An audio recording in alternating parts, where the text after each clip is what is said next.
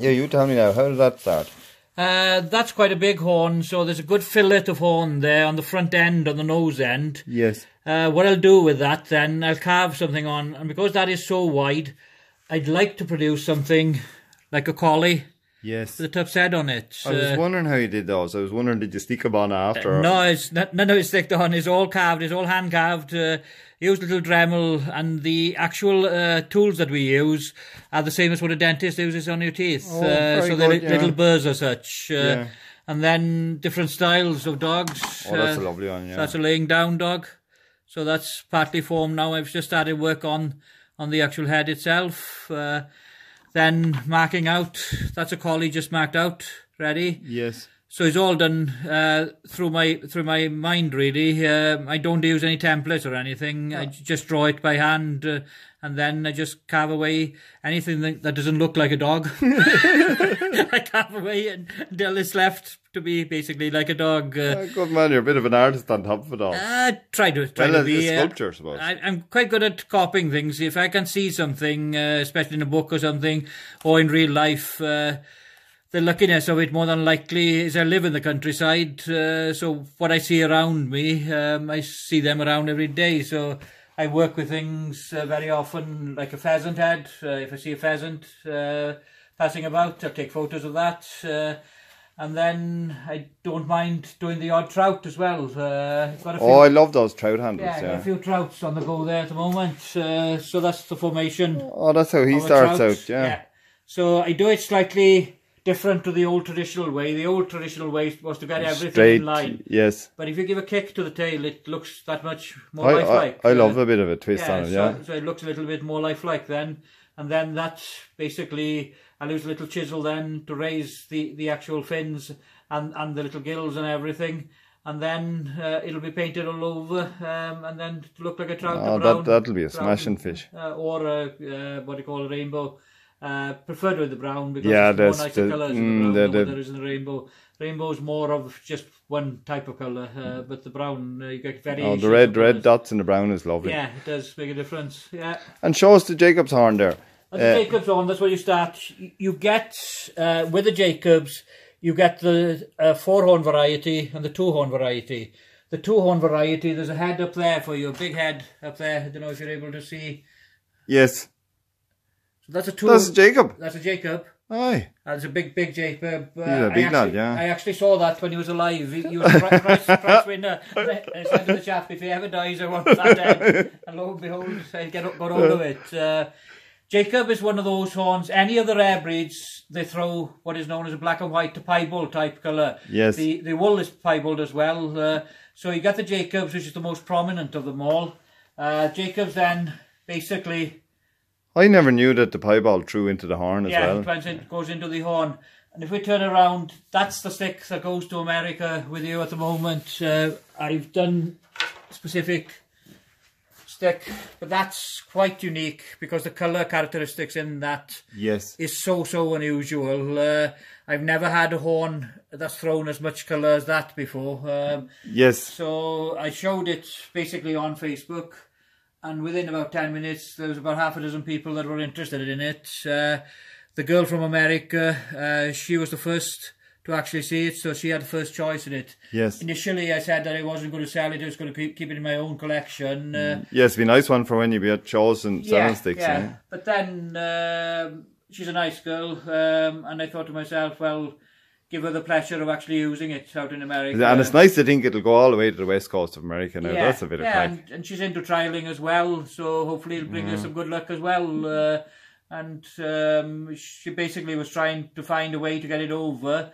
and then she realised that yourself was going over there to judge Hmm. uh, over in August, uh, and then she approached you and She won't have to wait too long to too see long it. for it as well. Yeah, yeah. So hopefully she'll be happy with it. Yes. Uh, so I've done a collar over the joint as well. Yes. Which is basically to strengthen the joint. Uh, so there's a collar Yes, I wondered what the and white color, on. what the colors are for. yeah, Yeah. so it strengthens the joint. And then the shank is what is known as a mottled mottled hazel. Yes. Well, it's nice colour characteristics in it. Um, Ireland is a great country to get colour shanks on. Oh, yeah. Wales is not too bad as well. What we find uh, we find them in very wet growing growing land. Uh, if they're in a deep ravine, uh, you get moss growth basically appearing on the shank. Yes. And if you wipe the moss off, there's a discoloration in the back. Oh, yeah, so the moss is a good thing. It helps It make it, yeah. it is. And you've got to catch it at the right time because if you don't catch it at the right time, uh, it will, well, the, the shank basically breaks down and the quality of the That, shank. that's what I was wondering. I, I go out and cut shanks there in the fall. Um, but what happens if I cut one in the summer and leave it up there? Uh, won't dry the same, won't No, be. they don't dry the same. Uh, what I was going over to say with this is if they're not cut in the right time, uh, basically the wood does go rotten if there's a lot of moss growth on it. Yes. Because it basically strangles a lot of, of the growth pattern in it. Uh, but the best shanks we're getting at the moment uh, are underneath coniferous trees. the acidity in, in the pines are dripping on to the actual hazel because yes. of the acidity in them. The rain comes on to the pine trees, drips on to the hazel underneath, and it discolors. Uh, uh, bleaches it or something. on, uh, and there's, there's a row of these. Uh, you were saying you were up in the Dolgellau area earlier on. Well, these have come from the Bala Dolgellau area. Oh. Uh, there's a sheep trialist up there. He trains quite a lot of dogs. Uh, and if I'm short of shanks, uh, he, He- he'll go out and get you a for few. us and gets a few. So these have come So down from that's, him. that's the way they come in. Yeah. And then you straighten them up and clean them up.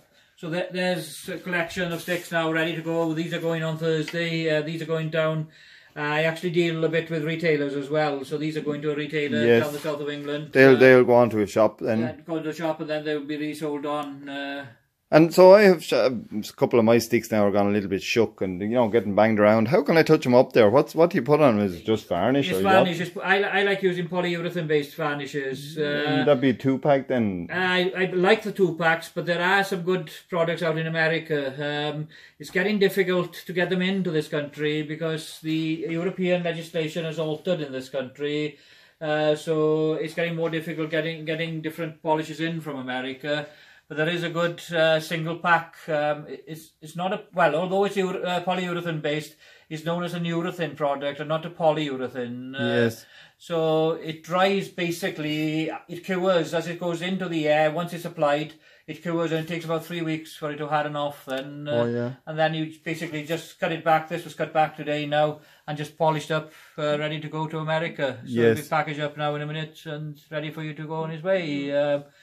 I do carve names as well. Uh, Oh, yeah, on- that's the thing I wanted to ask you about, yeah. uh, that's that's machine cut. That is. I, I prefer doing the hand chase cut. Uh, I do it the old style of cutting, uh, but that was just an experiment on a laser cutter. Oh, uh, yeah, yeah. To see how the laser cutter will work, um, and it worked speed up well. things a Speed up things a little bit.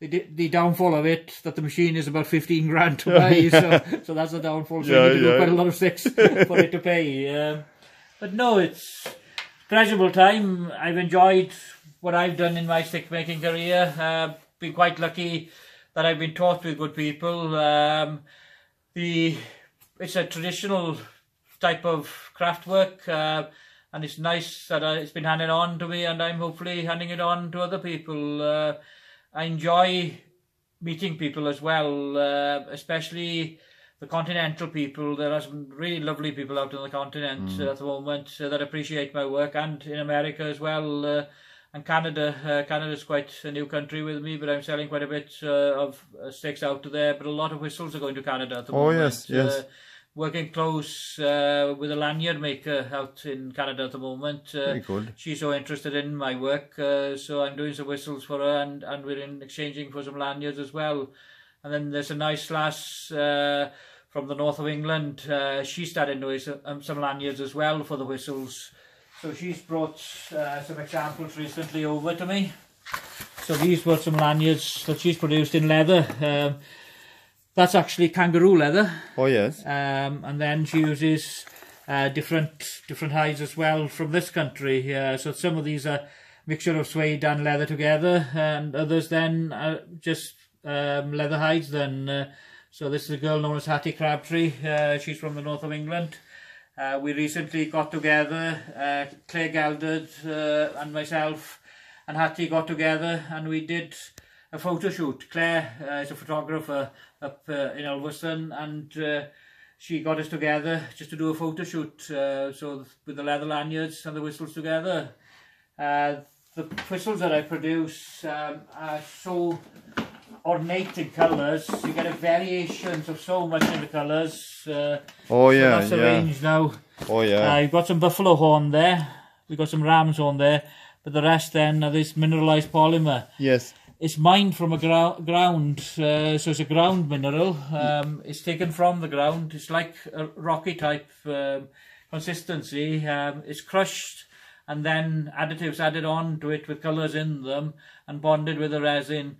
So it's clinically safe. Uh, they use it uh, a lot these days in hospital theatres Oh, uh, because it's nice and clean. No Yes. bugs attract to it. Uh, Yes. So it's a nice medium to work with. Uh, And tell us this. I bet you whistle with your fingers, do you? I do whistle with my fingers, but I've gone over to to, to the whistles. Uh, it's quite a high pitched noise with it. Yeah. Uh, Oh yeah. What's nice about it, it's quite easy blowing. It's not hard blowing. Yes. Uh, similar in shape to the old Fortune and the BBs that are on the market now. But they're so hard to actually blow, especially the old Fortune. These are so easy to blow. The advantage with these as well, compared with metals, this is the same temperature. Doesn't matter if it's cold outside, Oh, if it's yes, freezing yes. outside, if it's hot outside, it goes into a mouth. that's it's the nice. same temperature all the time. And the horn is exactly the same. Hmm. It's the only two mediums uh, that I can work with that stays in the same temperature. Metals, when they're in the winter months, especially when it's freezing, they're quite cold Yes. in the mouth. Uh, with the polymers, there's no lingering taste as well to them. Uh, Oh, no so metallic it's taste nice in the mouth yeah. as well. Uh, with the horns, then I finish these uh, with a vegetable oil, uh, so there's a nice taste in the mouth. Uh, Yes.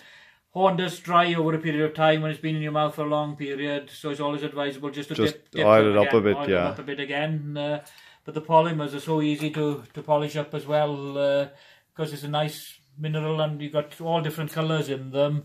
And uh, well, I should think I've got uh, samples there now. I've got about two thousand different colours in them uh, Yes. to choose from. Uh, Yes. So we can work then with lanyards. So if you've got a nice pink lanyard there, nice pink whistle to go with it. Yes. So it matches in then. Uh, so you've got nice contrasting colours together. So you've got a nice lanyard, and a nice pink whistle to go with it. Yeah, you can have it whatever way you want. Whatever But I tell you want. I like that, David. I like the fact that winter or summer you get the same consistent uh, Yeah, yeah, temperature horn. of it. That's what's good about horn. Is even the same when you go to the crooks. You buy the metal crooks, uh, you know, the cheap end of the market. You got the aluminium crooks. They're awfully cold, cold in the hand in Yes, winter. yes. But horn is always the same temperature in your hand, uh, so it's a nice feeling in the hand as well. Uh, so we've got variations of crooks here. Most of the cream ones are from the Welsh Mountain Rams. Then, as I said, that was from the Jacob family. That's a black buffalo, so that's jet black in colour. Yes. So that's from the jet uh, black buffalo. We get every so often then coming in from India, we get what is known as the coloured buffalo. The white they come from the white skinned animal. Yes. The black come from the black skinned animal. So it's a throwback in the gene. Uh, for every well, I would say for every thousand black, you get the odd coloured one amongst them. Uh, so the colours then, I haven't got one here as a sample at the moment because they're so rare to get hold of these days. Uh, but the coloured ones, they're quite unique. Yes. Um, there's greens, there's blues. Oh, wow, I didn't know that, yeah, of yeah. them. Uh, and uh, at the moment, there's a premium on them because the value of the horn is anything between 45 to 50 pounds just for the horn before you start any work on it. Yes. Uh, so we bring them in specifically for the purpose of selling whoever wants something unique. Uh, but at the moment, we've got a big fight on with this at the moment because the Italians are buying them to make spectacle frames out of them. Oh wow. And the uh, Japanese are buying them to make buttons out of. so the price has just soared Yeah, up. Yeah. You're trying to compete with Dolce and Gabbana there Yes, we are. yeah, yeah. And, and Dolce and Gabbana actually do them. Uh, they do make them in horn as it happens. Um, so that's another horn from the, one of the Welsh breeds. Yes, I see That's the white through it. Yeah, that's from the badger face. That is uh, in our Oh, yes. breed. Uh, so that isn't showing as much prominent white as what the Jacobs does, but it's something quite unique. say, yeah, quite like bit, that bit now. of colour in it. Um, and then with some horns, then you get diffusions of blood uh, where possibly the two rams have been fighting. Yes. And that's what's happened there. Then you get a diffusion of blood Yeah. appearing in the horn, and there's a pinky hume or a pinky mark in the actual horn itself. Uh, so you, you get customers that spec- speculate that they want that on occasions. Uh, so we, we cater basically for, for whatever whoever needs. Whatever we get. David. That's been very interesting. I just I see a clock up here, just in case anybody isn't sure what time we're operating at here. it's half twelve. So uh, thanks very much for that, David, and it's been great to great to hook up to you. Thanks.